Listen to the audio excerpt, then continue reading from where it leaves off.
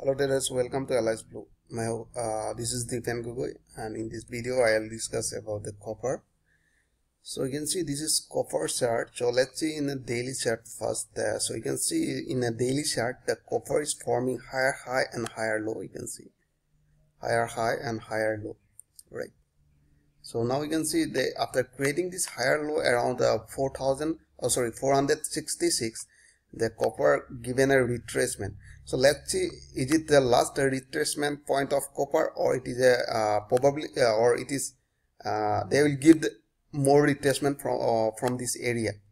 So that is why let me draw uh, Fibonacci here. So let's see uh, here. So you can see now right so here you can see if we draw copper in that wave. So you can see the uh, according to Fibonacci copper just retraced to 50 percent. So after that they bounce again the price. Have you seen this one?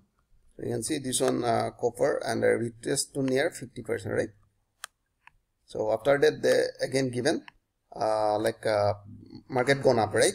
So next if you see next wave by using this uh, Fibonacci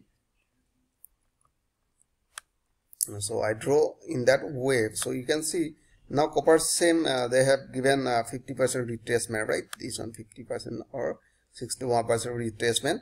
So from this area it is uh, high probability uh, go up right? So like that. So now you can see uh, another way to find out this um, support and resistance point. So you can see here now daily chart uh, just a copper placing uptrend right so if you see in a 4 hour chart in a copper, so copper is uh, bouncing from uh, 50 moving, uh, 50, 100 moving average, right? So have you seen this one?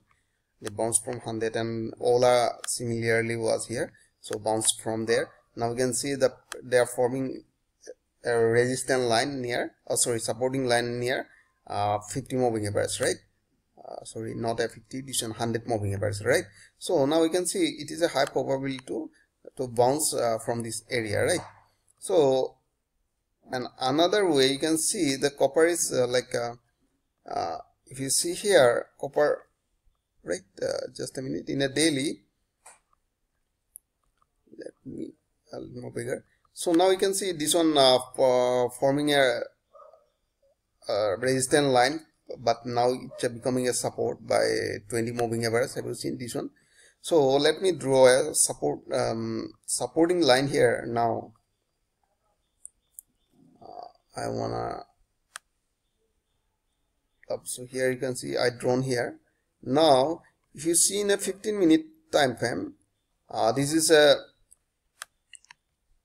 uh, this was a resistance line now becoming a supporting line.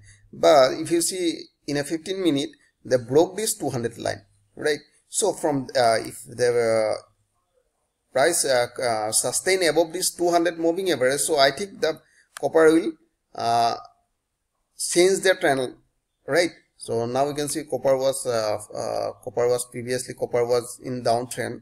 And after breaking this line so if price uh, sustain above this area so they will change the trend and they will start going up from this area right? So in that case where your entry point right? So for entry point you can see here uh, so you can see here they broke this line right? So for entering this market so you can enter uh, who people are trying to enter.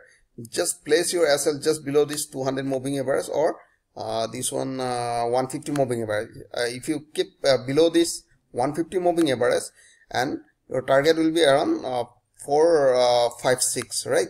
So i hope you enjoy this video. If you like this video please like and subscribe. Thanks for watching